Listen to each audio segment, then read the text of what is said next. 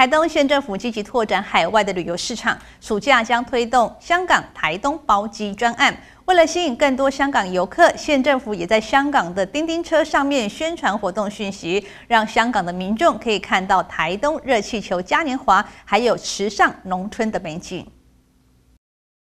香港的叮叮车上也能看见台东的美景。今年已经第七年的台湾国际热气球嘉年华，至今已经累积超过百万人次前来朝圣。台东县政府为了加强台湾国际热气球嘉年华的海外曝光，今年持续选择在香港叮叮车宣传相关活动讯息，希望吸引国际游客的目光。香港是台湾很重要的旅游市场，这几年香港人赴台湾不断的成长，我们很希望把跟香港互补最高的台东。介绍给更多的香港朋友，所以今年夏天我们在香港做了三款的广告啊，在香港的电车上面